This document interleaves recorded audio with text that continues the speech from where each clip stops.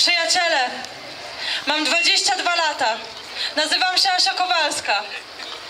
I właśnie dzisiaj, w ten piątkowy wieczór, postanowiłam stanąć tutaj przed wami i powiedzieć wam o najwspanialszej osobie, jaką w swoim życiu poznałam. O Jezusie Chrystusie. Tylko wiecie, ja nie mówię o religii. Ja w ogóle nienawidzę religii. Ale kocham Jezusa, bo poznałam Go osobiście. Wiecie, Jezus, którego ja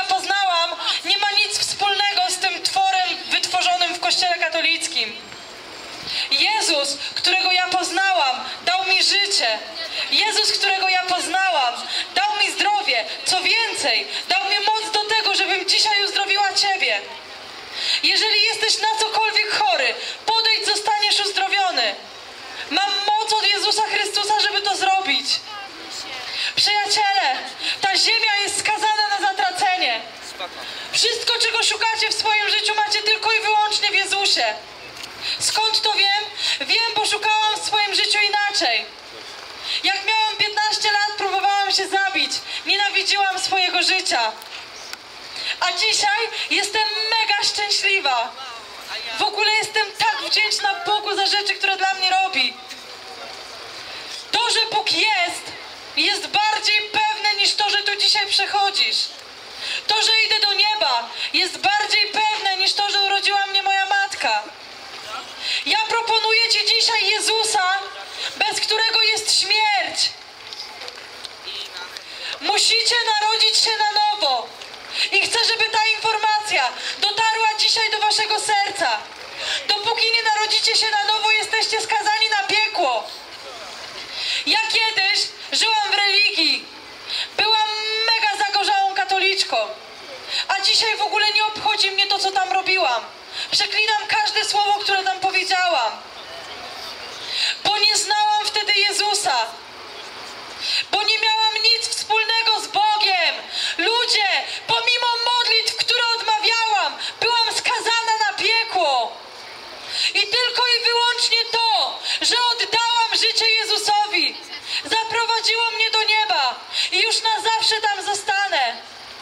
Wiecie, przez to, że ja odprawiałam bardzo dużo tych religijnych rytuałów, myślałam, że to da mi niebo, ale to jest kłamstwo. Pewnego dnia mój brat w wierze powiedział do mnie, nie znasz Jezusa. W pierwszym momencie pomyślałam, że ten człowiek jest chory psychicznie. Jak to ja, osoba, która tyle godzin spędziła na modlitwie, mogę nie znać Jezusa? I wiecie, co ja wtedy zrobiłam?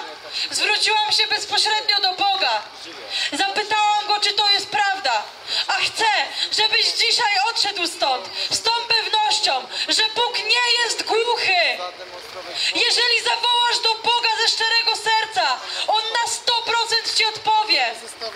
Bóg nie jest głuchy, przyjaciele. I kiedy zawołałam do Boga, powiedział mi, że to nie jest prawda, że to jest prawda, że ja nie znam Jezusa. Odpowiedział mi w ogóle przez kartkę ze snem, gdzie ja nigdy snów nie spisywałam. A mało tego, w ogóle ten rok mi się przyśnił, rok, ten sen mi się przyśnił rok wcześniej. I co ja wtedy zrobiłam? Stanęłam przed Bogiem. Przeprosiłam Go za to, że do tej pory żyłam bez Niego. Oddałam Mu swoje życie. Ustanowiłam Jezusa swoim Panem i Zbawicielem.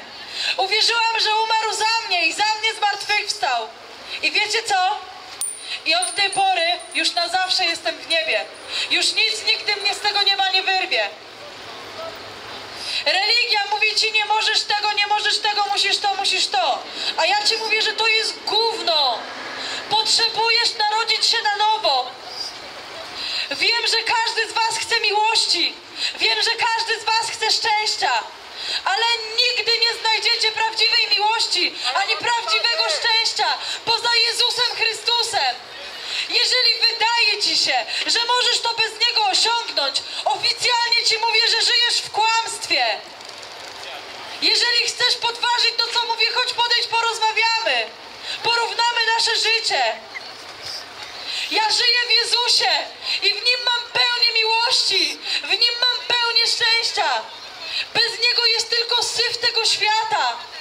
Ludzie, do Was należy wybór, co wybierzecie. Decyzja zawsze będzie po Waszej stronie, ale poza Jezusem macie tylko gówno i śmierć. Poza Jezusem w ogóle śmierdzi. Nie idźcie w tamtą stronę. Ja wam dzisiaj proponuję życie. Ja wam dzisiaj proponuję szczęście. I to jest wszystko łatwo dostępne, ale tylko i wyłącznie w Jezusie Chrystusie. Poza tym to nie jest dostępne. Przyjaciele, Ewangelia jest prosta. Dzisiaj możesz przyjąć Jezusa do swojego życia. Dzisiaj jest dla ciebie dniem zbawienia, nie ma jutra. Nie daj się oszukać diabłu, że możesz oddać życie Jezusowi jutro. Nie ma jutra. Jeżeli chcesz iść do nieba, oddaj życie Jezusowi. To jest bardzo proste, przyjaciele. Jeżeli wstydzicie się dzisiaj podejść, to sami w swoim pokoju zawołajcie do Boga. On naprawdę nie jest głuchy. To jest bardzo proste i to jest w zasięgu waszej ręki. Ale decyzja zawsze będzie należeć do was i życzę wam właściwych wyborów.